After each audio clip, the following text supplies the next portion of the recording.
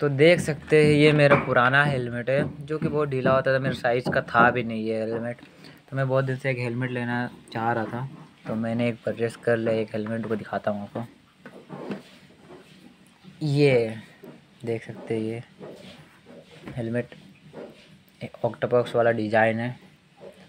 इसे बहुत अच्छा है, ये करीब दो हज़ार पड़ा मेरे को, और वैसे मैंने यहाँ पे मोबाइल होल्डर के लिए ब्लॉग व्लॉग बनाने के लिए यहाँ पे ऑर्डर कर चुका हूँ। मैं वैसे इसका क्वालिटी अंदर से बहुत अच्छा है।